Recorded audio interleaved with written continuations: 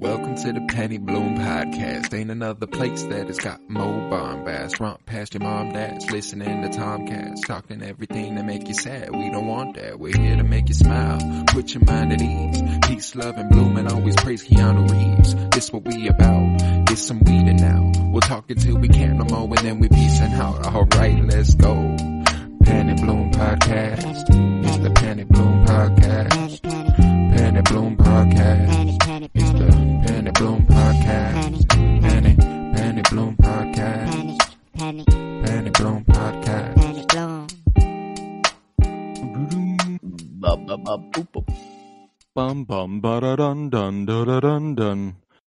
Hello, everybody, and welcome in to the Penny Bloom podcast. This is Winter is Blooming, our Game of Thrones rewatch podcast.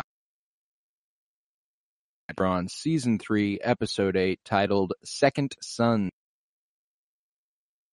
Benioff and D.B. Weiss, and directed once again by Michelle Claren, director, as we've caught on. Um, sadly only the second of four episodes that she does. So we don't have much we don't have much more Michelle MacLaren, but she does a good job while she's here. So uh let's talk about it. I'm Colt Indeed. Robertson. I'm joined by Joseph George. What's up, homie? Oh, what up, what up? Always a pleasure to be here. Oh, and it's always a pleasure to have you today. We're talking a pretty solid episode, if I do say so myself. This was uh Oh, yeah. you know, it's just in keeping with the way this entire season has gone, where it's like I'm now going like it's just another episode of Game of Thrones, but another episode of Game of Thrones is like super fucking good. Um, Yeah, I think just during this rewatch, all the smaller scenes stand out more because we Mm. know the bigger things that are coming. So it's now the small things, the small little details that like give me the most satisfaction because same, I didn't notice them before, and now I'm looking for every little small thing. And right? like, I don't know, in this, I don't know, even this episode in particular, like the main, I think, focal point is like the wedding, Tyrion and you know Sansa, like the main kind of focal White point. Walker. But yeah, and then like the just little tidbits that you get like surrounding like every other character. It's it's really small. Like Arya and the Hound, really small, um, but really meaningful. Sam and Gilly, really small but very meaningful. Like I don't know, it's it's all these little small things that I don't expect to like out of the episode, but then I'm like, ah, this is. It This is the ends up reason being some like of my favorite yeah. shit. Yeah, hmm Oh yeah. So and this no, this uh, episode's kind of just full of it. yeah, it Um. I mean, that's all this episode is. It's just So, a bunch mhm. of, except for, and the wedding is like a pretty big scene, but somehow I forgot that this happens. Um, The wedding. Like, oh, I forgot that Sansa and Tyrion actually did get married. Um, Mm. as soon as it was happening, I was like, "Oh yeah," because Joffrey's going to take the stool, and, Mm-hmm. Oh, she- yeah, that was that was hard to watch. But let's do this location by location. We've got Mhm. 5 of them today, so a little step down from what's usual for us. Uh, mostly because we don't go to the Riverlands to see uh, Robb Stark and Talisa, which sucks given what's happening next episode. we'll see him next episode. Yeah. However, we do start in the Riverlands anyway, with Arya Stark, now captive of uh, the Hound after he kidnapped her from the Brotherhood. what Uh, a she way to her- yeah, open the off the episode, episode. too. Like, if we were doing favorite shots, I'm like, damn, okay, it's already the first second of the the episode. Um, Hmm. but yeah, no, it's just a. The first thing she sees is the rock. You know, we see like it's the rock, and then it's her eye. Like when it focused on her eye, I was like, oh my god, like yeah, damn, the show's just so good. it's good um, looking, man. It is. but- there's a lot of there's a lot of Ah. points in this episode where I was just like, God damn, that's a fucking shot right there. But Mm. anywho, she picks up the picks up the rock and stands over the Hound, planning to strike him in the head. and she thinks he's sound asleep, but he opens his eyes and tells her, "You have one chance. Hit me, and you better kill me. Otherwise, do it hard. yes. Otherwise, shit's gonna get bad for you if you don't kill me." And uh, yeah. Later, she sits on the horse with him, sullen and refusing food that he offers her, and Sandor points out that uh, for all all she hates him, Arya could have been taken captive by someone far worse. And he tells her about how Sansa uh, was saved by him from a group of would-be sexual assaulters. And uh, Arya's like, I don't buy it, you piece of shit, fuck you. And he's like, all right, ask your sister if you ever see her again. She'll tell you. Mm-hmm. Uh, but then they arrive at a river, which Arya initially thinks to be the Blackwater, and Sandor goes, "Where the fuck do you think I'm taking you, man?" Yeah. Uh, Yeah, fuck the king. Fuck the fuck King's Land. I lo- just love how he talks. He's just like oh, dude. fuck the king. Fuck, I don't, whatever he says. I don't know who he says. Fuck something else. It was fuck the Yeah, king and was, fuck uh, something else. But uh, maybe it was just King's Landing. I don't know. Fuck the city. Um, yeah, something like that. But man, it's just fuck the he's- kingdom. and fuck the king. yeah. You haven't met my brother. You know, if you think I'm bad or whatever, you know, whatever. Like, uh, man, it just their their journey's just so good. And I don't know, the Hound is, you know, still a bad guy. He's done some bad stuff, but but he's right. He's like comparatively to some other people we got, you know, even in in his own family, they're he's not Well, the worst out of all of them. I can't imagine Arya's relief whenever he's like, "I'm taking you to the fucking twins. Your mom Yeah. and brother will be there soon, and that's where I plan on taking you." She's probably like, "Oh shit! Last I saw, you were a fucking lackey for the the king and the Lannisters. I don't I don't understand what happened, but uh, I really appreciate just the arc they're about to go on is is so fucking good. Um, but Mhm. uh, anyway, uh.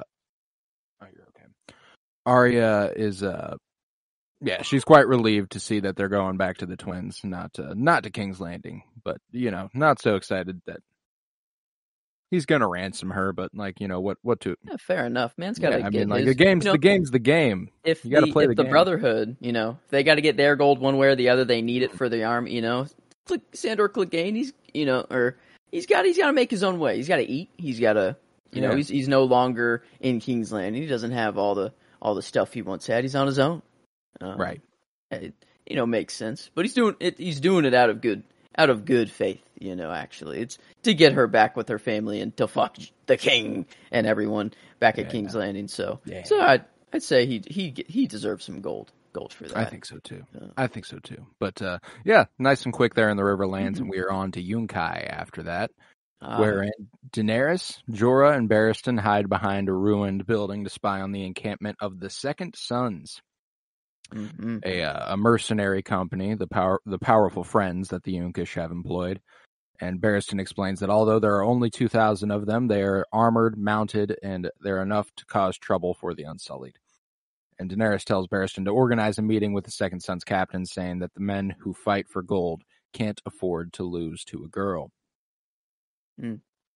But Yeah, uh, shortly, oh, I know. There was like little imagery there. Whenever she was kind of looking down at this, like at Yunkai, you had like Hmm. Sir Barristan on one shoulder, and then you had uh, Jorah, on the other. Jorah, you know, on the other, and like, yeah, you can't trust these people who fight for gold, no honor, whatever. And then Jorah's like, well, if you pay them enough, you can trust that they'll they'll kill whoever you pay them to, you know, like sort of thing. And it's I love just the back and forth that they that they always have, and Well, and it's it's a Uh, cool contrast between Barristan and Jorah because they are both honorable to a Mhm. degree, but Jorah has is noted to have been one to bend the rules if you need to. Mhm. He's like, whenever he was selling people, it's because he his land was dying and he had no means to uh, make the crop grow again unless he had some fucking money. So like he was like, I'll do what I have to, and that's kind of Jorah's. I'll do what I have to.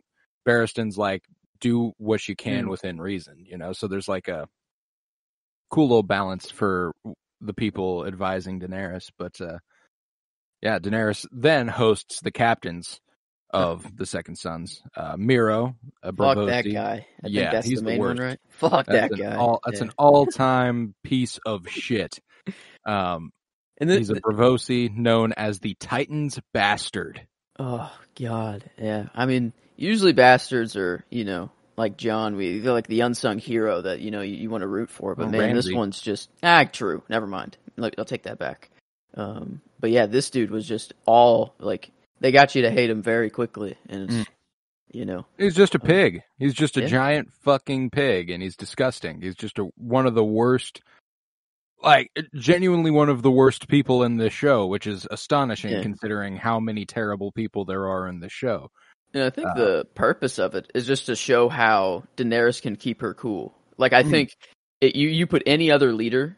Any other person that's going for the throne right now in that They same situation, instantly they're dead. Yeah, no question. Joffrey, oh my god, like it, it, like the dude couldn't even get three words out before that, you know, was dead. I think Stannis even killed, you know, like Oh, even yeah. actually killed, like everyone else kills this person. Yeah, it just shows how much like, more savvy and yeah, uh, strategic she is. yeah. She's like, I need to- this army. You know, I Mhm. don't want to kill all of them. Let me just let them think that they're walking all over me. Let let me give them a barrel of wine to give you know get them all just drunk as fuck so they can't fight. You know, Mm. like she's like I don't know. She's very smart and just just keeping her cool. You know, like she she knows that like she could kill all of them all of them. Yeah. if she wanted. You know, she's like, I have this power, but I, I'm going to keep my cool. You know, I'll let you talk to me like this.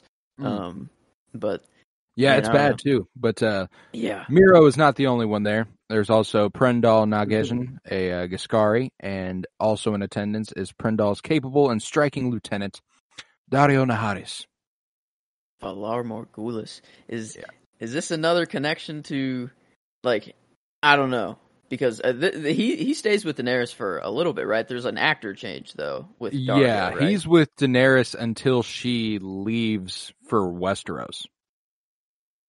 So no chance this is Jaqen H'ghar because no, yeah, no. no, there's no uh, way. Valar Morghulis is also just a very common Braavosi Yeah. saying. I was And just he- this dude's just very cryptic and Mm. just interesting and Jack and like you know I could see this just being another like he he's Syrio and then he went to you know to Jaqen and then now he's he's over here just because Daario fucks. I mean we we we talked about Podrick like laying pipe and everything like that, but but Daario only fucks girls that want to be fucked. You know? Yeah, And, Daario like- has game oh, in a way that Podrick simply doesn't. You know, Yeah. like uh, Podrick just has the natural talent that I- Yeah. he doesn't even know how he does it either. It just kind of came naturally to him. But, Daario, Daario, knows how he does it. yeah, Daario Whenever he was like, "Listen to my voice, follow my voice," and then she like followed him and like sat in his lap, he was like, "Yeah, that's right. What's up?" I was like, "That was. I, this dude. I wish I was him. I wish I Oh was my that god! guy." They they showed polar opposites. Uh, the worst man pig ever. I don't Hmm. even remember his name. Just man Mero. pig. Yeah, fuck him. And then they just showed the absolute just Riz God in Game of Thrones. You know, like this dude just has game out Well, the ass. and that's why I'm like, I want to know what happened behind the scenes because the guy who does get recast in the role of Daario Naharis is fine as Daario Naharis. He's a great actor. He's in a lot of stuff Mhm. that I've really enjoyed him in. Uh, he is not this guy though. No, this This guy like, plays Daario Naharis Yeah. so fucking perfectly. man, and Um, like looked like he just came out of Lord of the Rings. You know, like Yeah, perfect, no, like, he looks- perfect fit in the fantasy world for Game of Mhm. Thrones, and Yeah. like his cadence, the way he spoke, like I don't know, it was it was Daario really. Naharis. Um, but yeah, he's Yeah, he's no. getting the character. Oh, no episode. doubt. Um, No doubt. Because damn, is that dude just cool, calm, Yeah, this- collected, and we haven't even gotten to really why, I guess you know. But I'll just I'll say. Oh um, no, yeah, he's, he's, already getting it. as well. Um, yeah, so yeah, he's badass. Um, He's a badass for sure. Uh, this one is portrayed by Ed Skrein, uh, and then he is replaced by Michael Huisman, who uh, is really enjoy him, and he's a- he's not bad in the role of Daario Naharis. He Mhm. just had some big Yeah. shoes to fill in the three episodes that Ed Skrein's in, which is kind of hilarious. um, but yeah, I lo- love me some Daario, and he was also my favorite character, and we will eventually get to why. But uh, the uh, vulgar Mero makes himself at home, states that Daenerys reminds him of a whore he once fucked in Lys, and that she licked his asshole in a way that he'll never forget. Um, and uh, Mero refuses Daenerys' offer of alliance with her larger army, pointing out that they will not get their rewards until she claims the Iron Throne, uh, which is still a distant prospect. And with the aplomb, she replies that a fortnight previous she had no army, and a year before she had no dragons. that was a line right there. That was a bar. That almost was a the line of the episode. Um, Mm. But there's, I don't know. We'll get to that. But man, Daenerys was laying down the law here. Yeah. Um, She She- was cold with it. Yeah. She was.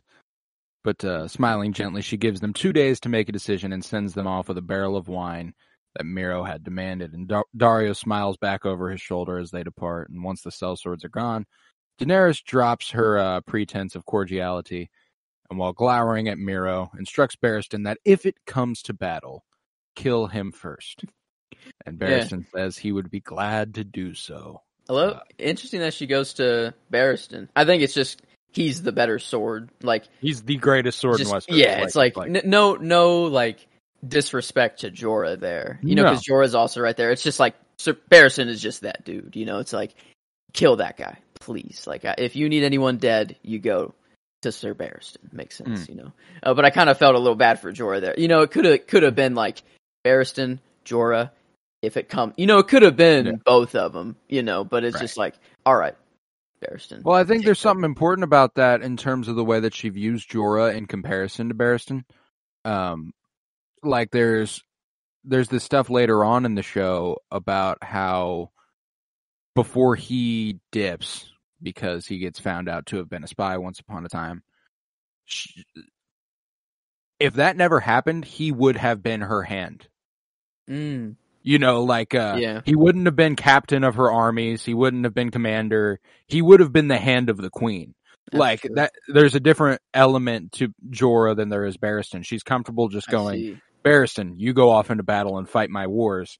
Jorah, I need you by my side, which is Ah, uh which is an odd like a odd thing for a warrior like Jorah since he is a knight and very very well Hmm. established to uh be fucking cold with it. But uh nevertheless, at the mercenary camp, Mero is fondling a a Yunkish uh, sl- uh sex slave uh, while discussing the uh, situation with Prendahl and Daario, and Prendahl admits that the Second Sons cannot defeat Daenerys' Unsullied. They're like, yeah, we have no fucking chance against them. uh, but Mero's like, okay, what if we assassinate her? One of us goes in there and we just take her out, and that's that. Uh, and Mero gives uh, the woman three coins, one from Volantis, one from Meereen, and one from Braavos. Way to do this, by Yeah. the way. Yeah. And like at first I thought it was like um they were trying to say that each of these three coins represented like where these three came from. Like they were all mercenaries, so like they all probably had just different backgrounds and I'm like, okay. So this guy's from Bra like she was just going to pick one coin out of the bag, you know, blindly and then that was going to be the person that went to it. But like I don't know, it didn't even like spin her around. It was just like, all right, give these coins to anyone, you know, and like the Braavosian coin, that's the person who does it. And it's the the square coin, the Yeah. most you you know what fucking coin? Yeah, I don't know. Uh, anyway, um, it's a TV show, and I don't, you know, but I, I just thought it was hilarious that like that this is the way they decided to go about like who's going to assassinate Daenerys Targaryen, you know, like Right. the mother of dragons, and this is how they go about it. I just, um, you know, I think it's a little fair to bring up that you know it's not just like a little side bet that they're they're doing here. This is like Hmm. a very important move that they are making to assassinate someone, and this is I don't know. I think it's just you don't get this anywhere else. Um, but but yeah, um, we get we get our our boy uh, Dara. You know, this Oh no, I love him, man. There was a line here that I almost went with. Uh, there are two. There are two things that God gives us: the the thrill of fucking a woman who wants to be fucked, and the thrill of killing a man who wants to kill you. And uh, smooth. smooth Every like just a, poetry. just a bar, This like- dude is yeah speaking. an, incre- an incredible, uh, just personality for a character in this fantastical setting. You know what I'm saying? Like, uh, Yeah. Yeah, I'm, Just- I'm not. I'm not a fighter. I'm not one to fight. But like, if I was in this time, I would hope to be like a Daario. Oh, you know, yeah. a guy Okay. that just could fight anyone and have confidence in that, and then just also fuck. yeah, just, just and like just guy. be known Just for be that. that like. Yeah, Yeah. like I would. This this is like I don't know. I I would. I equate him to like Danny Phantom. Like my childhood crush for Danny Phantom is like kind of the equivalent. My adult crush now is Daario Naharis. Um, yeah, No, I fully understand. I fully understand. Specifically Ed Skrein's Daario Naharis, because like yeah, this guy's a different breed in terms of the uh, je ne sais quoi that he's Yeah. present, that he's pre- uh, Hmm. bringing to the role. But uh, regardless, that night, as Daenerys bathes, she is surprised to learn that Missandei speaks no fewer than 19 languages. And Missandei says this shouldn't be that odd since it only took Daenerys a year to gain a reasonable grasp of Dothraki. And the Khaleesi is a little, little bothered at the idea that she only has a reasonable grasp on Dothraki. And uh, she she switches to the Dothraki ton and uh, very quickly Missandei corrects one of her pronunciations, and she's like, "Ah, okay, okay, I oh, see. Shit. Okay. Yeah. All right, all right." but then, uh, suddenly, an un- an unsullied enters and holds a knife to Missandei's throat. Uh, wearing the the armor of an unsullied, which sucks for whatever unsullied Daario inevitably had to kill to get this arm this armor off of. Um, which they don't spend a lot of time stressing about, which is hilarious. Um, but uh, he removes his helmet, revealing himself to be Daario, and he explains that he is here to kill Daenerys on the orders from his captains. And they ran into a, you know, philosophical disagreement over her beauty. And uh, he then produces their severed heads. Intrigued, Hmm. Daenerys rises from her bath and asks Daario if he will swear fealty to her. He bends the knee and swears his sword, his men, and his heart to Daenerys. Man, I wanted to see Man Pig just get killed on screen, you know, but I think it's better that to yeah, it's like he wasn't even a challenge. Yeah, it wasn't. no. It wasn't worth showing us. Yeah, they were- Daario's just like that. Yeah, I bet I bet they were just drunk and he just waited. You know, I don't I don't, I don't know. I don't even think it was a fight. You know, I think it was just like, oh really? That's how you want to go about it? Okay. They like I guess no. He said they drew their sword and then he drew Yeah. his. Oh yeah, the way he Um, explains the way the story went down Uh, would have been a cool fight scene. But regardless, uh, this is this scene is where I got my line from because I loved. Uh, Hmm. I just love Daario Naharis. Um, it's also where I got my character for Daario. But uh, Yeah. Whenever she's like, "You are a confusing man," and he's Ah. like, "I'm the simplest man you will ever meet. I only do what I want to do." It's like, fuck yeah, you do. Love that. how do how do you not like? Yeah, she. I don't know. She's like okay. I'll, She's also immediately intrigued, you Yeah, know, you're by in. the prospect. Yep. You're in. She's like, yep, yep. I don't. It, she's. I don't know. You gotta. You gotta also think she's also young and, you know, I guess she she was loyal to Khal Drogo, but she's she's looking for some other people. And Jorah Jorah's just not it right now. You know, a little old, Jorah's a bit Just- too old. bit too old. Barristan definitely even older. You know, that, that's not even it. This guy. I mean, come on. How could you not want him to be by your side? Um, so yeah, I mean, and he, he made a pretty pretty good case. He's like, well, they wanted Hmm. to kill you. I killed them, and here's their heads. Um, I'll fight for you, and I now swear to you. And you know, he, and he also at the very end there, he also throws in, and my heart is yours too. You know, he he he swears to her, but then he's also like, let me let me throw in, you know, let me let me end it with that. Well, that's the thing is that like Mero was making fun of him for being like a man slut, but Mhm. he does fall in love with Daenerys. Like again, whenever you know? whenever she Yeah. decides to go back to Westeros, what she tells him is that it's just a bad look to have him at her side because he was the leader of the Second Sons. He holds no weight over in Westeros. You can't be my king. You know, um, Dang. they they were like fully blown going like yeah. for seasons Yeah. three, four, five, and six. Wait, what? Yeah, That's actually, and they were Burn- on the whole time, like just well, kinda- uh, there, there's the fact that she has that arranged marriage with the dude in wherever the next city, Astapor. Is that the next one, or have they already been there? Meereen, Meereen. That's it. the pyramid, Um, the pyramid yeah, one. Meereen. I think that's Because she marries uh the guy there. That's who she arranges the marriage with. Is Who's the guy there? I'm trying to think. he's not of note in any real way because he doesn't last very long as Yeah. her uh, betrothed. But uh, regardless, like so they're on in the background essentially. It's not it's not the forefront Mm-hmm. for a long time, but uh, you know he's the one who gives her relief after a stressful day. Um, Yeah. you know, she returns to her chambers and she's like, "Send Daario up. Need some, need some loving tonight." Mm. Okay, that's.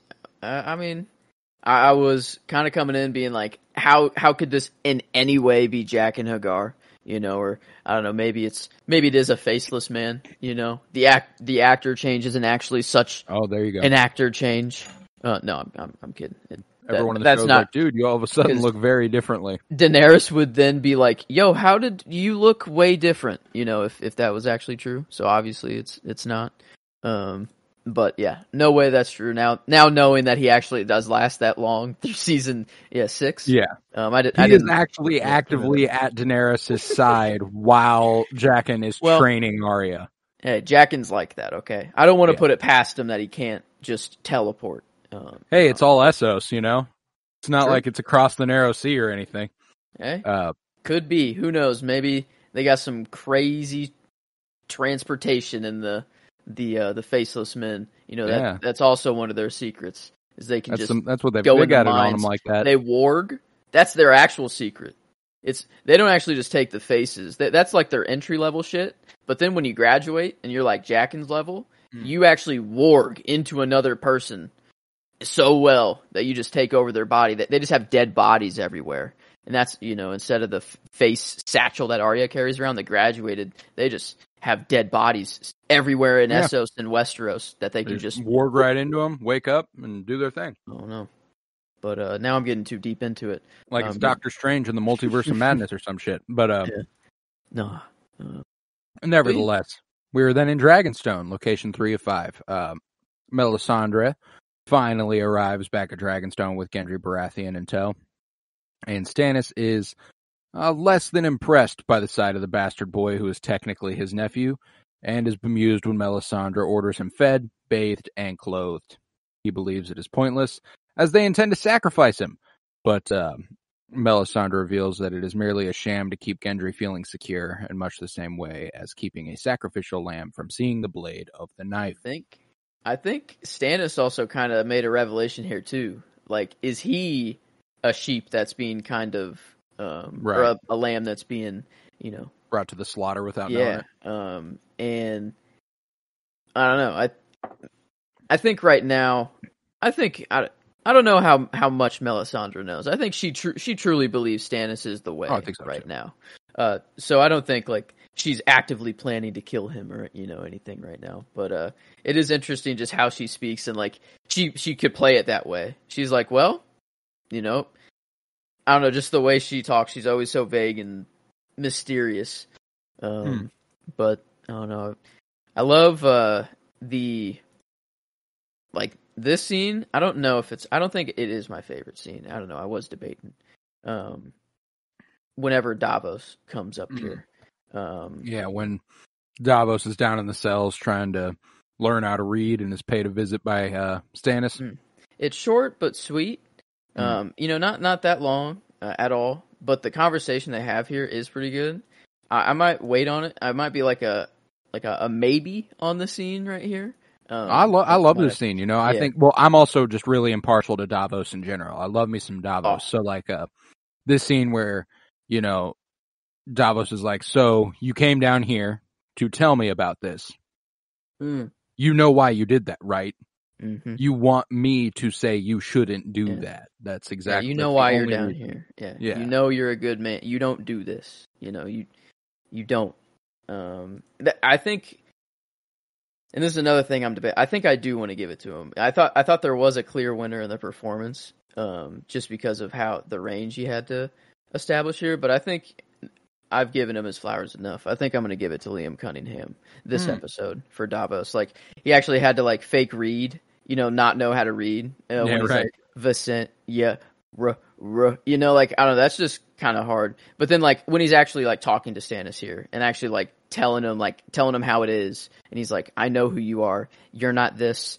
And like even when he's like, um, my son when he was five years old, when he asked me, you know, if if he was gonna die, I wanted so badly to tell him no, you know. But I think the gods are just stories we made up to have our children sleep at night or Mm. something like that. I'm like, oh my god, this dude is like spitting right now. And then Stannis just comes back and he's like, but her God is real. You know, like the, I've seen the things I see. You know, when you see the things Well, that you even saw a- it. He saw a know. vision of a great Yeah. battle in the snow, Yeah. which is Oh, the Battle of Winterfell in the he, last he season. saw it. Yeah, he saw it. And I don't know. It's they're both like kind of right here. You know, like Davos just from the human perspective, from like the ethical perspective. You know, you go with Davos here, um, just because it's like, yeah, this this he's innocent. You know, this this dude has done nothing. He's only, you know, Gendry has just been passed around his whole life. Like he doesn't know anything of this, and he's just completely innocent. He's done nothing to you. There's no reason to sacrifice him or you know kill him. Is he? Davos even says like they're the same thing. Sacrifice and kill. There, there's no difference. You know, you're just Right. killing this this kid. Um, but then Stannis is like, when you've seen the things I've seen, you know what what's the price of of one bastard boy on the on on the hand of a kingdom, you know? But this is just a prophecy and like a, mm. you know, it's like the reality is that you're killing a boy. You don't know for sure that killing him will actually lead to these things, you know, sort No. of thing. But it's It's a it's all a hunch. yeah, And even then, he doesn't have any way of knowing for sure at all. It's Melisandre who would have the the idea of what would actually happen. He's operating on faith and a Mm. faith that he doesn't even really believe in. yeah. You know, but it's he just he just acknowledges yeah. that like he's seen evidence. So yeah, it's he like doesn't want to believe it, but he's like, I've seen things that I can't ignore. You know, he's like, Mhm. and, and even Davos when he, I mean, he saw whatever the fuck Melisandre gave birth to, um, and he's like, he kind of, he's like, you know what, you're right. Like, actually, I'll, I'll see out this demonstration. You know, Davos is, he's actually kind of like, you know what, sure, if you're gonna show me evidence, I'll actually, I'll see this out because the Lord of Light is seeming pretty fucking real.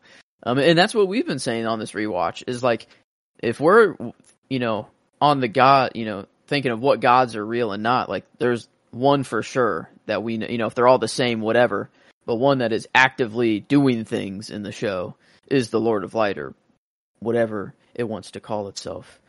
Um, yeah, no yeah, doubt. I don't know. Liam you. Cunningham here. I, I, I, I like him. Uh, so I I, I think I'll, I'll give him. I think that's his first performance nod. I think Um, it might be. I know I gave I think I gave him a character. I think, no, I gave him one of the season premiere, a performance. a performance. Okay, so he's gotten flowers before, but I don't know. Yeah, I, I season like. I really premiere. like this scene. Um, but I don't think I can. I think I'll pick a different scene. Actually, I just really liked his performance out of it, and that's what I wanted to to Mm. highlight. Um, Yeah, no, I'm I'm confident with my scene. Like, I, I, what's funny is this episode did so many great things on so many fronts. The only thing that I wasn't sure about was my quote. mm, But like character, performance, and scene, I knew pretty much immediately.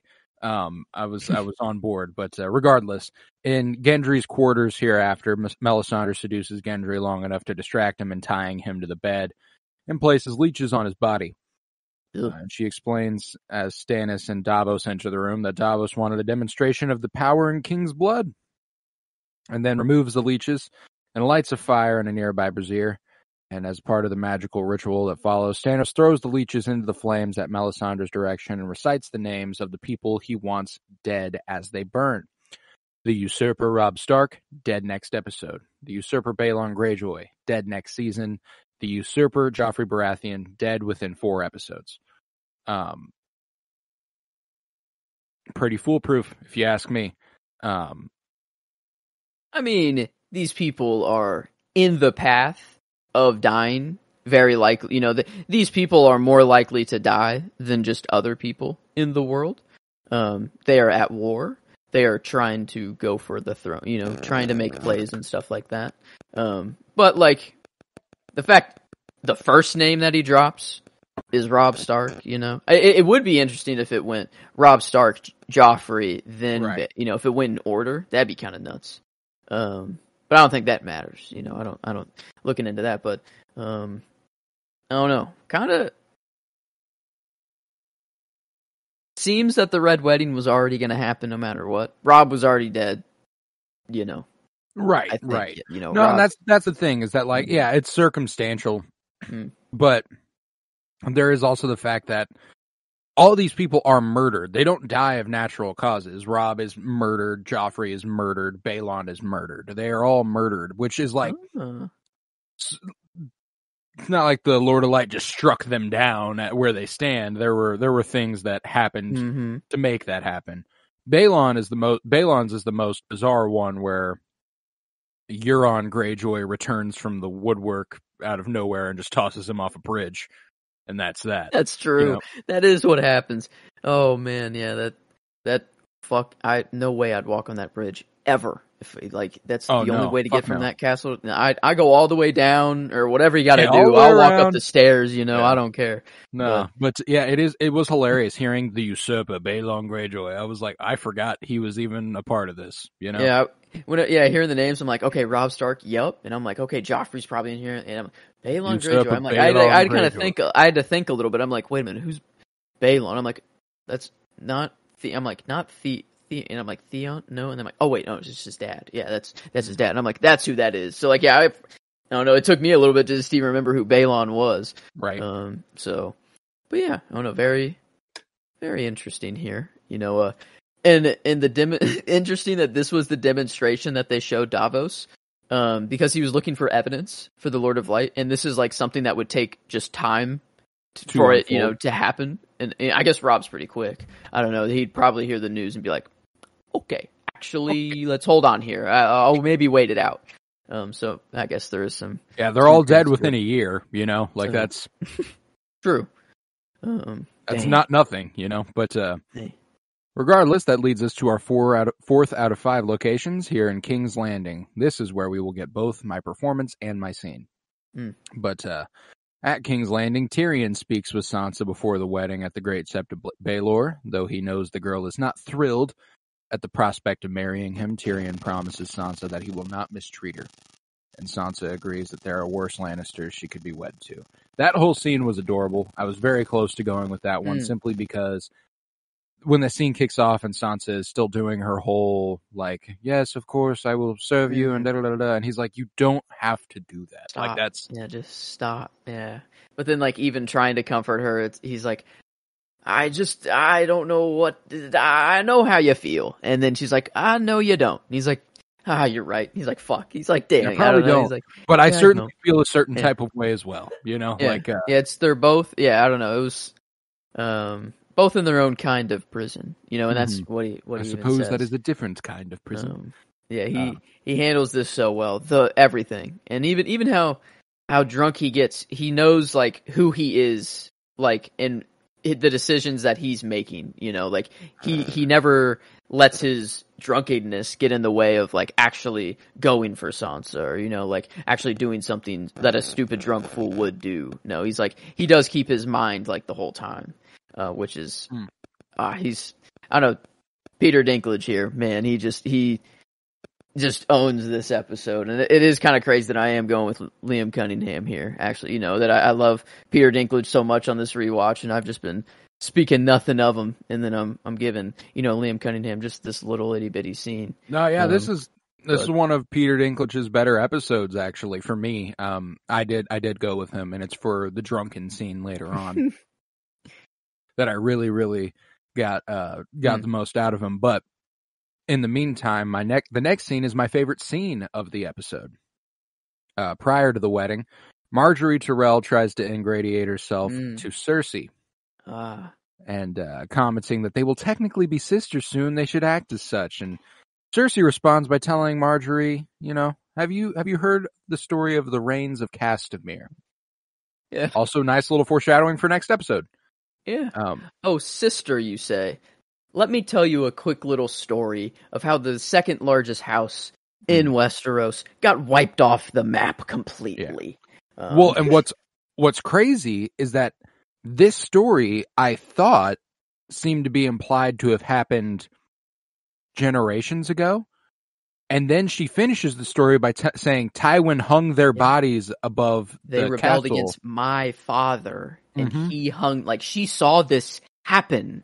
Like, Yeah, and that made like I yeah I did not realize that either. I thought that this was an ancient Lannister story that just Right. built their legacy up. No, this was Tywin, and like Cersei was around her. This made it even more like holy shit. Well, and it made the threat more real because Yeah. Margaery's like, I remember that. You know what I'm saying? Like, it's not like it's, Oh yeah, I didn't it's- think about that. yeah, Oh, like it's yeah. not like it's just, oh, It's this happened within Cersei's lifetime. It happened within the last 30 years. You know, I know Margaery's not 30 or anything, but That's- her saying she remembers it, it implies it to have happened relatively recently. Um, Oh man, yeah, I didn't realize that. That yeah, she would have because you're right because she's like, um, and where is uh, House what or House Rain Rain. Rain Yeah. just House Gone. Rain now, and she's like, yeah, yeah, they are gone. Yeah, that's you're right. Like, but man, yeah, I, I don't know. I I guess I didn't pick up on that previous watches that it happened. No, I didn't either. I don't know why, lifetime. but like this is not something new for the Lannisters wiping out houses. Um, but the idea that uh, you know, whenever the conversation concludes and the whole time Cersei's been like veiled, you know, she's like it's like obviously a threat, but she's not directly going, "We're going to wipe out your family if you step to us," you know. Mm. But then to conclude this, conclude it with call me your sister again and I will have you strangled in your sleep. that's a that's a direct threat. That's a yeah, fuck you. Um And and, I was very close to going with Lena Headey again, That's but what I was gonna say. She almost got like she plays the role so well this episode. it's Like, crazy. the whole time.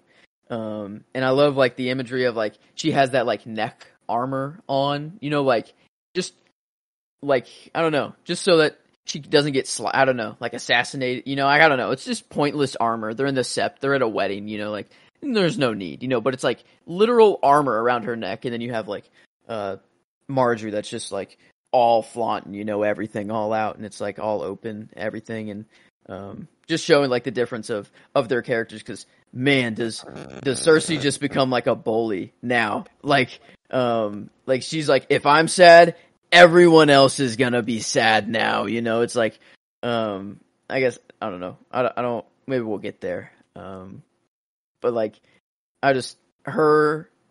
I don't know. She just she is Cersei, and every every dude. line that she says, like every facial, like she smile, like she's smiling during the like while she's telling the story. Like my father hung them up on the castle walls, you know, like she's she's like, and we slaughtered them all, every man, woman, and child, you know, and she's smiling at that. And it's just like evil, like just I don't know, pure evil. But love to watch it on TV.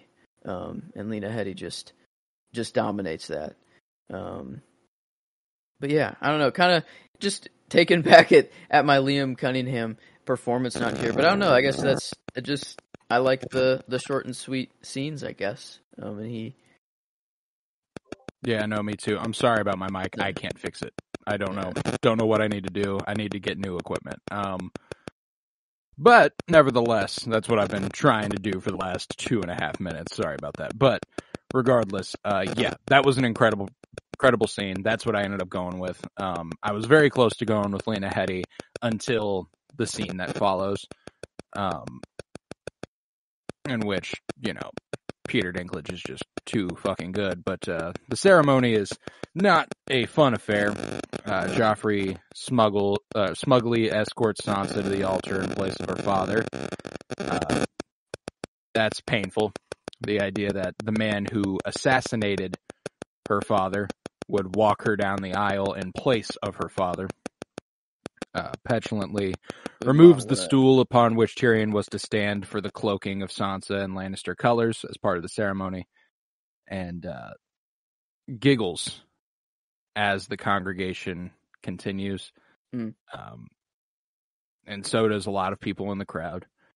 Uh, and I don't know, but it was was the like the families were kind of separated, or like I don't know, they were like because one side was laughing, it seemed, and then like the Lannister side or the side that like you know Joffrey and, and Tywin were on, like one guy started to laugh, and then like that's when Tywin looked back and was like, you know, like I know it's funny, you know, and everything, but he's like out of respect, like still shut up.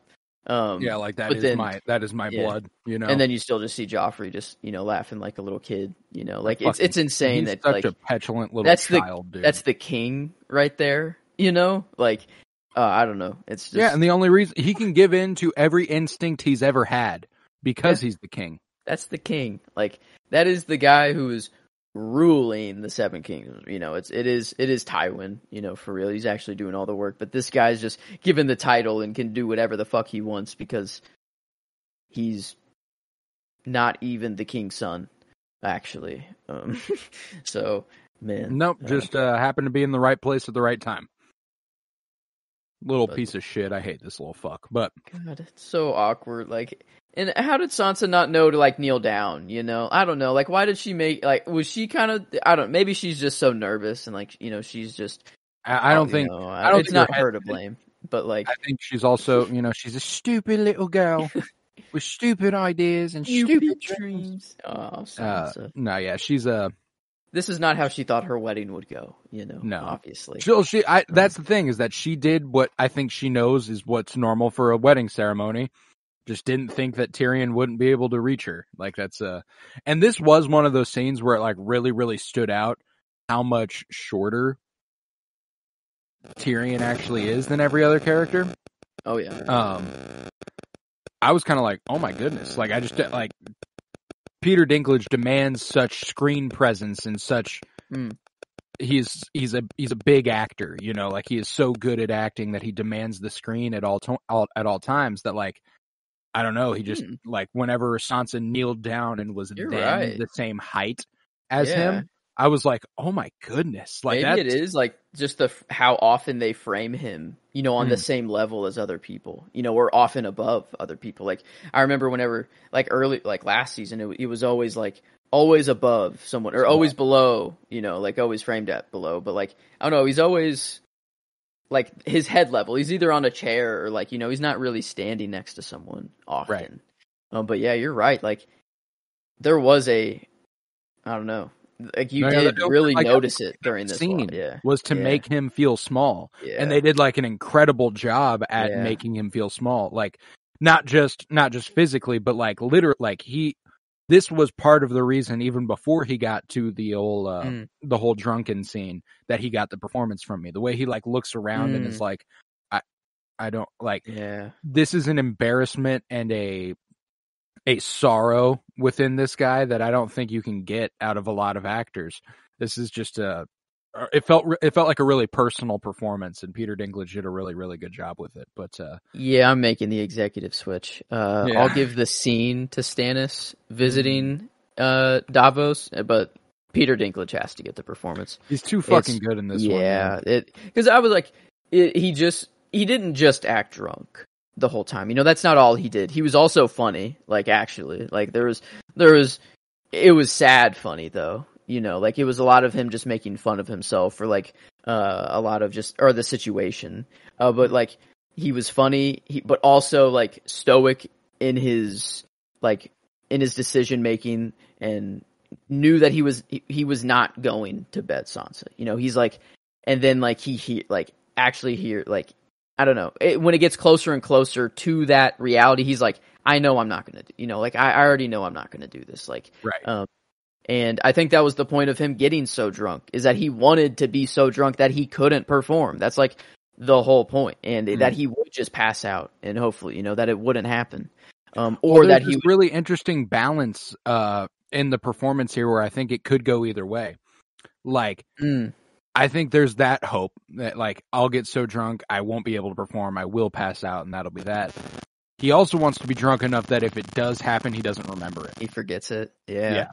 And then it's gone. Oh, Because that's the thing is that like there is a moment here where he's he's considering Yeah. doing his duty. You know, it's not. I don't think it's out of and like he does say I could, I won't though. You know, not until you want me to, and that's not like he's certainly not not interested, but he's like.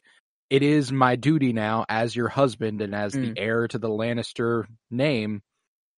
It's something I'm supposed to do. It's something that like I would do, but goddamn, I can't do it to you. You know, like I can't do that. Um, Yeah, I don't know. And the like the shot of him like being behind that like divider, like kind of look at I don't know confessional booth looking. You know, like you could don't like I don't know what to call it, but it's like a weave, like kind of like a basket weave.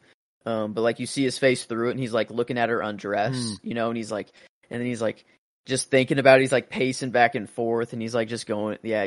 But I think uh like he knew it was wrong the whole time and he didn't want to but you're right he was kind of like contemplating it as like his duty you know and like if he if he actually like just should um but no i th- like and she says that she's 14 in the books she's 12 at this time i think Hmm. like i think which is just i mean it's it's not it doesn't really make you know. It's still No, just no, it's like all bad, but there is Um, a level of worse like- whenever.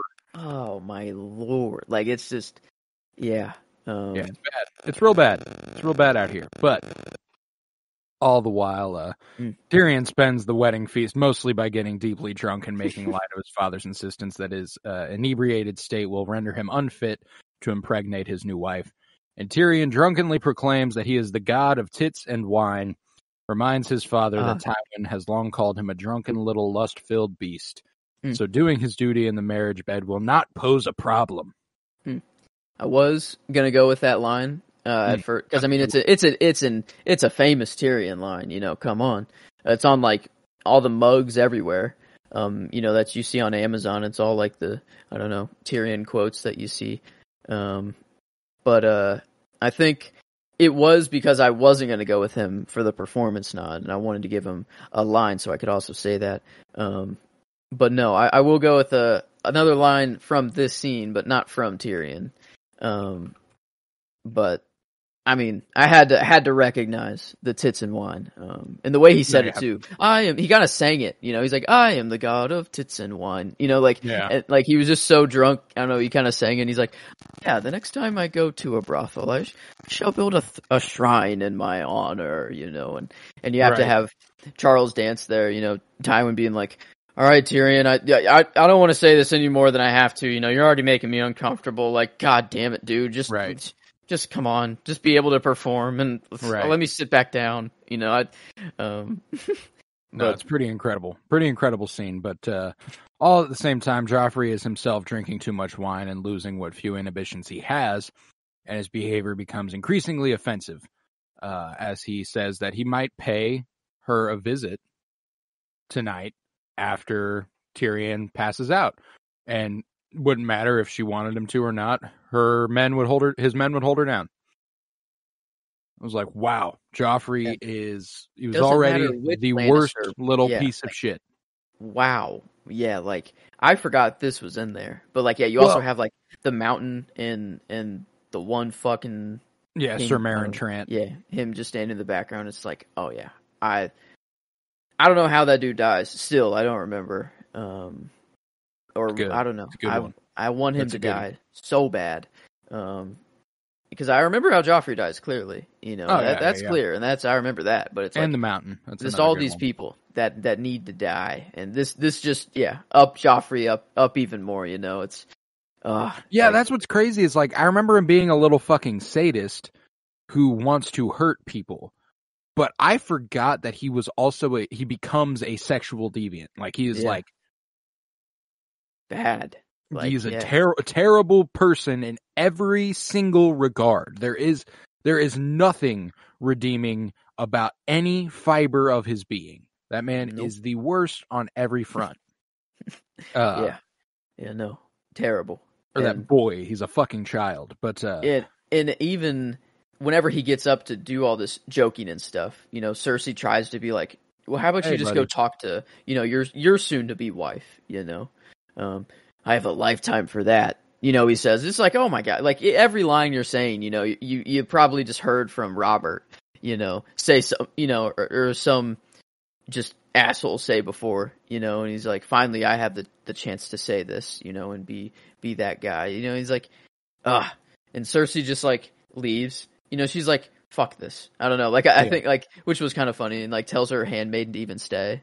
You know, she's like, just okay, whatever. You know, um, I'm out of here. But yeah.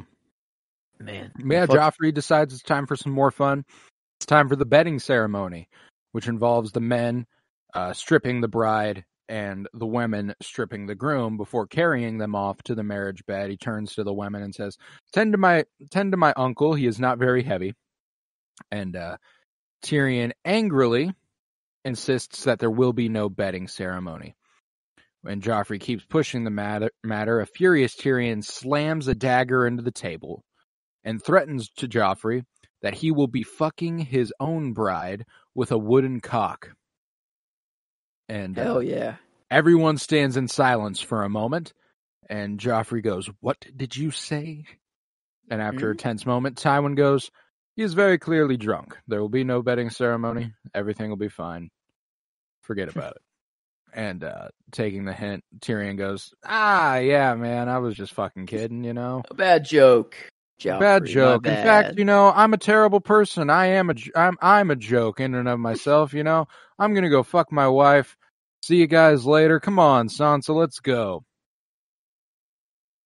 and then just have you heard the the I once threw up on a girl in the act. Let me tell you Oh all about it. Get you right in the mood. You know, I think like, feel like, feel like honesty is the best policy between a husband and wife. yeah, like, ah. But before they leave, Olenna Tyrell delivers my line for the episode that I'll have to Mm. give. Um, and it's just her going through all the family Relations. relations that would happen um after these marriages and she One says, thing is for sure: yeah your brother Uh, will be your father-in-law. Yeah.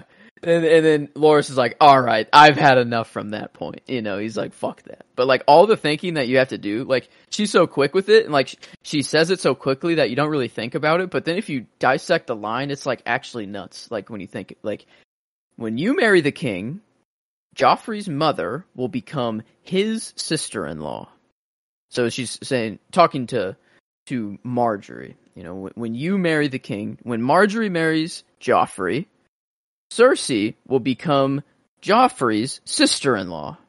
So his mom is now his sister-in-law, and then their baby would be Loras's nephew, grandson. I'm not sure. She says it's both, but you know who knows which one to call it. But your brother will become your father-in-law. That much is beyond dispute. You know, it's just like so much back and forth there. It's like, oh my god, the incest, the and like, but also it's not just the in, there's also like an incest layer and then just like the marriage layer. Yeah. But you know, I don't know. There's so many layers going on there, and Olenna is just like.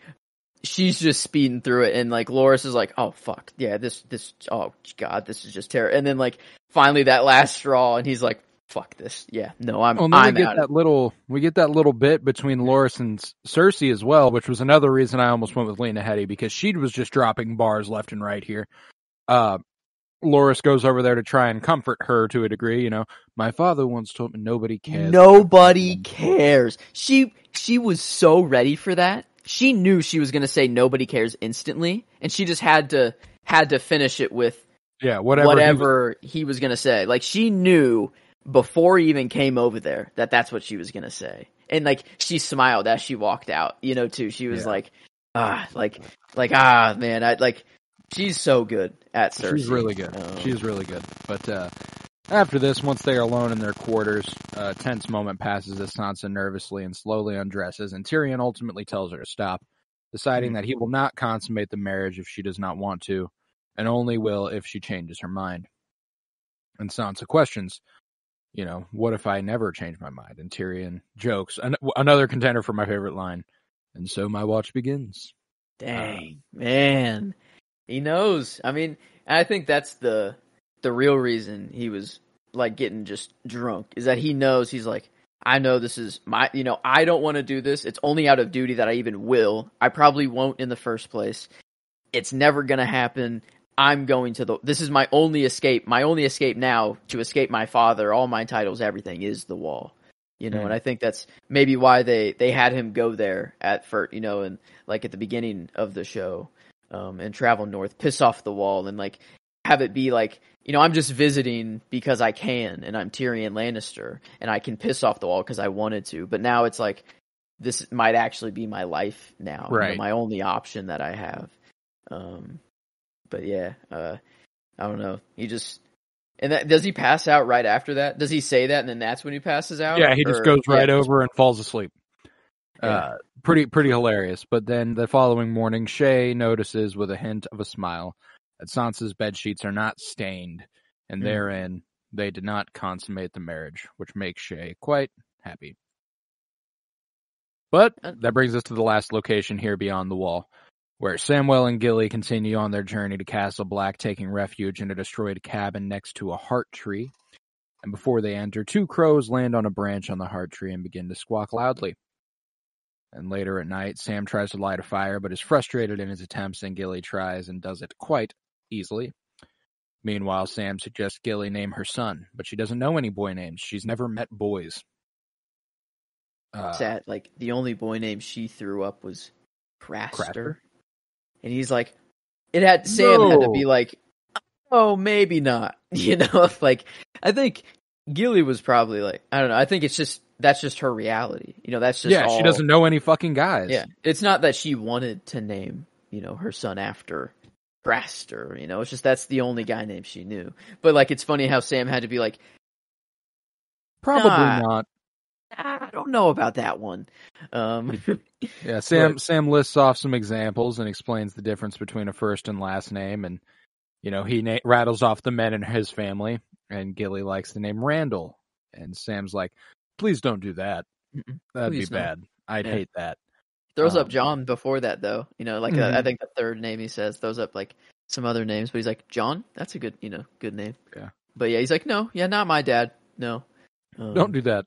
Yeah, I don't know. This moment between the two of them was actually like they're starting to actually talk to each other now, and like now Gilly is maybe not fully interested in Sam, but at least is like not like worried about the survival of her son and like that's all you know that's all she could focus on is like i just need to get my baby out of here you know and like we're about to die now they can actually like slow down actually talk to each other and she's like oh did, was your father you know like abusive or, or bad Yeah. destructive like like mine was um and he's like yeah in a, a different kind of way you know and like doesn't doesn't give her the whole story or anything but but she's like oh, i don't know they start to understand each other more here They And do I- indeed. they do yeah. indeed. It's a good scene, and their relationship is easily. I mean, it's the longest running in Game of Thrones, um, and it ends the happiest. But uh, regardless, uh, What's the son suddenly- get named do you re- do you remember oh yeah, I remember. is it Jon No, it's Sam. it is sam oh Yeah, that's even oh okay Yeah, she names she names him That's after right. Samuel. okay Because that's I right. think I can't remember if she dubs him the baby's father at the same time. Because I feel like I remember her saying, "I want to name him after her after his father," and then says like Samuel, which would be like uh, which is like a really cute moment. But like I can't remember if that's exactly how it happens or if it's another way. But regardless, okay that is right uh, yeah, the baby's name is is Samuel. Um, Hmm. and you know, suddenly they are interrupted by thunderous squawking of crows, and Sam's like, "Eh, "Okay, you stay here. I'm gonna go check on that." He's got like the fake smile on his face, Yeah. and he's like, "Be right back." even gilly's uh, like don't leave like no like don't, Don't leave do you know, that. she's like she's like one like i don't think it's a good idea for you but also like i don't don't leave me here you know? Yeah, like don't leave me alone. Um but i don't i kind of wanted to is this just Bran checking in? You know or or is it the current three-eyed raven? Like what like what's the point of the crows here? Um like this is a monumentous moment that is happening here. You know like check like what's about to happen. Like a a white being killed with dragon glass here um so it like i guess Jon did it but with a valyrian steel sword like sword right. but this is the first walker to be killed with dragon glass i guess and this is the for- first Walker to be killed by. This is the first White Walker to be killed, not the first White, because Jon, Jon- burnt a White alive or dead, I guess. But he has not killed one with a sword yet. Oh his sword just destroyed well he shattered he shattered someone right or no that happens oh i'm dumb that, That has not happened yet seasons. what the fuck am i thinking of yeah no And that just like, that's a couple yet. seasons away. Hello. Um Yeah, okay, what am I what am I thinking of? Yeah, no, he just burnt. Okay, no, he just Yeah, burned. he just uh, burnt one. just, he uh, threw, and it wasn't a White zombie- Walker. yeah, it was yeah, one it of his little okay, that's white right. minions. But uh, So is this like that's is this interesting. I hadn't considered that this was like a warning, like to let Sam know that a White Walker was coming. okay? That could be interesting. Um, mm-hmm. I Did- I just considered it to be like an omen, and that the crows gather kind of where a White Walker is coming to. Like it's it's more there to scare the shit out of them than it is to. That's what I I was thinking. It's either Bran or the Three Eyed Raven, like checking in, you know, to either warn Sam or to like just watch this happen, you know, like because he needs to know that Dragon Glass can kill a white. I don't know, something like that. See, but, but then it is- also, All that requires is one Raven. Yeah, and like, why is it all of them? I think it's more the white is controlling these ravens to tell him where Sam is. Like Mm. he all of them on that tree just a loud like beacon, you know, like literally like follow the noise of all these ravens. They're right there, you know, sort of thing. And then I don't know. Uh, I was thinking it could be, you know, could be that that it's just like he's warging all those fucking ravens and just just being loud. But like, I feel like I feel like there is some connection to the three-eyed raven or Bran here. I feel like that. I don't know. I feel like that it's not just the white or not. I I feel like it is like maybe a warning to Sam or like, um, because he like Sam is on the council at the end. You know, like he makes it all the way through. Needs to stay alive is very important. Um, and this could be a moment where he dies if he doesn't know that the White Walker's coming up. You know, to or the White's coming up to to get the baby. Hmm. Um, but I don't know. I guess was there um when Cr- Craster would give this like just put the son down? Was it just in the middle of the woods? There wasn't like a a uh, a It weird wasn't like an altar or anything. yeah. It was just like there was no okay yeah, and there was there were no crows there that then. It was just the white just walked up, took the baby, walked away. Yeah, like it wasn't. That yeah. is that is interesting. I've never really considered what this was. I've always thought thought of it just to be a filmmaking choice to build tension. Um, like there's something bad coming. We Mhm. know there's something bad coming. Um, but I've never thought about the in universe explanation for what it would mean for a bunch of crows to be there. Hmm. Um, yeah, I could I could see any of those possibilities. You know, I've always just uh, I've always just assumed it's the crows show up because they know something bad's about to happen. Like Hmm. that's just there's always this. it did make it way more scary. That's for sure. Yeah. Like yeah, that that is like whether whatever it is for storytelling. Well, and then when they run away, the raven they chase them. They like follow. oh, Sam. That's right. Hmm. Which I don't And know it- what that means. Interesting. Uh, when after he you know actually stabs him, and I'm like, oh dude, why didn't you pick up the fucking thing that you just killed him with? For one, he has like a bunch of other like that's he had like a bunch of other ones, but in the books, it's there's a there's an altercation they have before where I think like um or it happens differently. There's someone else there when this happens and they they stab the white and then it, it shatters, but then the the dragon glass is so cold to the touch that they can't pick it up. Like it's frozen to the cold like it's just frozen. So they can't like just pick it up right right after it's that they have to like wait a little bit. Um and then they can pick it up and go. Um so at this point, Sam already knew that whenever he, ki- you know, like I, so it this it happened differently than in the books. I'm pretty sure. That's Um, interesting. So that that's why he just runs and he knows, and also he's just fucking scared. You know, Yeah. he's like, I'm just grabbing. I don't know what just Priority happened. Gilly. He grabbed Gilly Yeah. and they bolted. You know, like Yeah, I, it I seems like, it. he's dead. I don't know. He could have just gone on the ground. He's gonna pop up somewhere else. You know that? Like, who knows? He, they're made of ice. I don't fucking know what's Yeah, happening know here. what We the fuck is just gotta on, go. You know. No, yeah, Um, no, yeah, no. It was a it was a good fucking episode, and that's how it concluded. But uh yeah, I think we went through all our favorites. Is it time for a rating? I think it is now, yeah. And I, this was an interesting, I guess, an interesting one to, to think about rating wise because it nothing like huge happened. It was just another episode of Thrones that was just a delight to watch. That was little check-ins everywhere. Um, but I, I don't know. Like last episode, we gave a nine enjoyment, and I don't I don't know if I'm am I there or am I like maybe a little below. I'm th- I'm, I'm thinking for enjoyment this. Uh, Episode, just a little know. lower. You know, I thought Like- it was just a little. I mean, it wasn't boring, obviously, but it wasn't up to the excitement levels that previous episodes have been. You know, um, The lowest this season is an eight seven five, and that's episode I don't think it can go lower than that. Um, Um, so like yeah, and last episode we gave a nine. So I'm like, I don't like, I'm right there. I'm either like eight seven five or nine, like that. Yeah. I don't. It goes, you know, lower than I don't know, or maybe like, is it the worst of the season? I don't know. no, I think it's an eight seven five. I think it's Yeah. fair. Okay. Okay, then I, I agree with that then because that, that's where my gut took me. Is that a little bit lower than last episode?